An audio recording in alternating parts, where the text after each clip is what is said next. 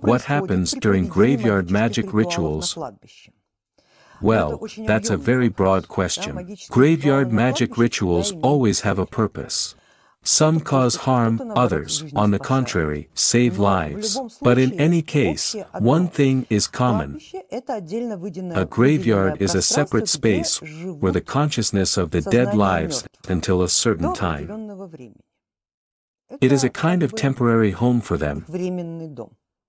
And in that temporary home there are certain rules. Of course, the vibrations and energies there are different from those in the world of the living. The minds of the dead exist in these vibrations, and these vibrations make them different from the minds of the living. So when you come to the grave of your relative, friend, acquaintance, someone you have known all your life as a personality with a certain character, don't expect that same personality and character to respond to your presence. All you have to do is to remember the following. Firstly, when a mage performs some rituals in a graveyard, he understands that he is not dealing with familiar personalities. Secondly, the forces that fill that space have their own rules of coexistence.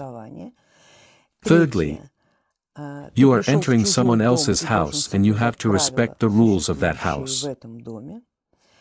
And fourthly, you cannot do anything in that house without the permission of the masters. And everything you do when performing graveyard magic rituals must necessarily take these four rules into account.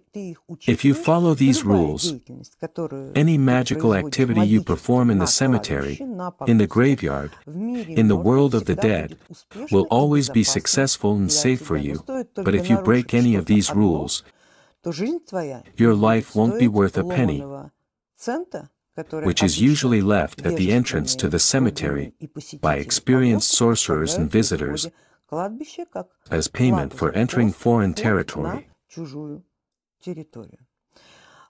Since your question is very abstract, I can't give you a more specific answer.